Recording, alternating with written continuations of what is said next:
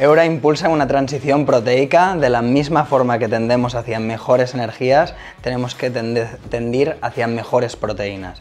Impulsamos alimentos que sean de alta densidad nutricional, sostenibles y con gran experiencia culinaria.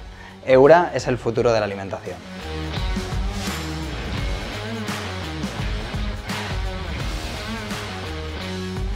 Hemos bebido en Barcelona mucha generación de startups, ¿no? impulsando transformación de industrias. Algo que me emociona mucho actualmente es que cada vez hay más startups que ponen el propósito y la transformación social en el centro de su propuesta de valor.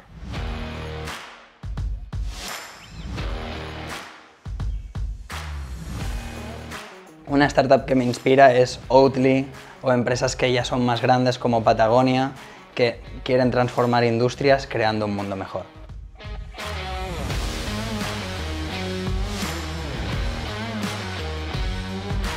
En España las grandes urbes están siendo la locomotora de esta transformación y ahí son Madrid y Barcelona, pero aún nos queda muchísimo si nos comparamos con Londres o Berlín o Ámsterdam.